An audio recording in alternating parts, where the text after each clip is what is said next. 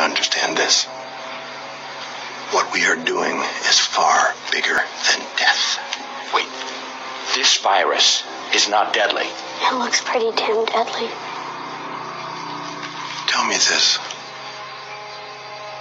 What have you done today to earn your place in this crowded world? Exactly.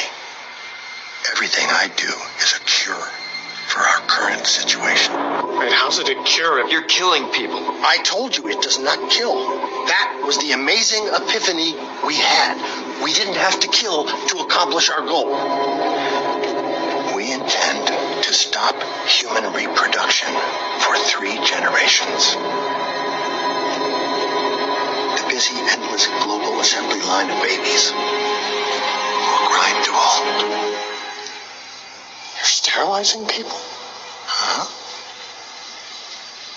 In the first five years, we'll start to see major birth rate declines as teenagers vaccinated today hit their childbearing years. You're controlling the future of human civilization. Is that what they're calling it? It's a very nice euphemism for a species that has replicated like a contagion across the planet, killing all other species in its wake, except things that are cute like puppies or koalas. You hate people that much? On the contrary, I love people. Then how? Why would Doing what our government or citizenry is too spoiled or self-indulgent to do. We are saving ourselves from ourselves. halting overpopulation? A hundred years ago, the global population was 1.7 billion.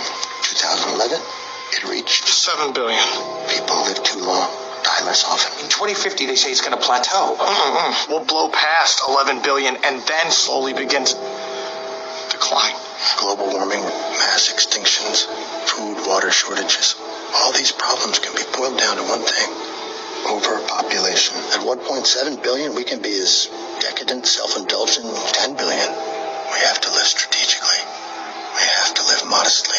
What about what this does to, to people, society? Salvation. We can form a new society.